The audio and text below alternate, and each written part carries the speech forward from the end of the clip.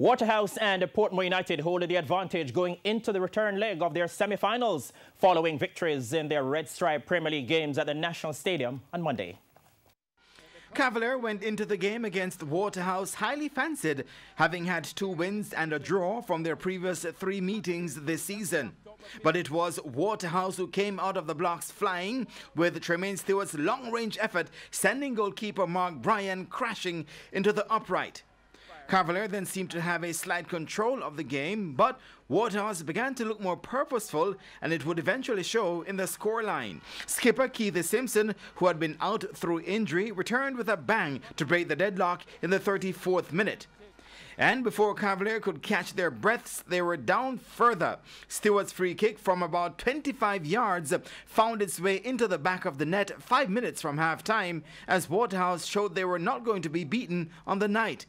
The second half petered out, but Waterhouse didn't mind as they hold the advantage going into next week's uh, second leg. I think we gave uh, ourselves a, a, chance um, going into the, the, second half of the, the, two-way tie of the semi-finals.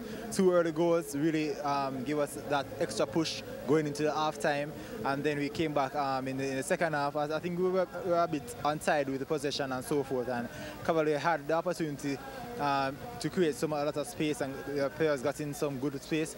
But I think in, they were better in the decision making in the final third. They could have come back to draw even the game 2-0 or 2-all or even go 3-2. I still think you know it's not over. Um, it's a it's a big task to, to come from 2-0 down. But the second half was very encouraging, and if you look at the match overall, we had 55 to 45 percent possession. So that tells us that, you know, we're in the game all along. We just were probably a bit unfortunate. Um, the, the, the, the, injury to our centre half, I mean, when he was off the field, the first goal score, we were a little bit short, and then the second goal a little bit afterwards. Um, the advice that we got was that the player was good to continue, so we persisted with him, but maybe in hindsight, that's a bad decision.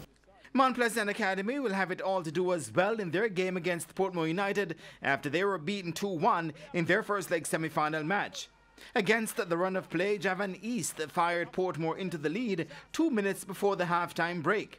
However, Mount Pleasant hit back through a beauty from Jordan Fletcher just three minutes into the second half, and things were back on level terms.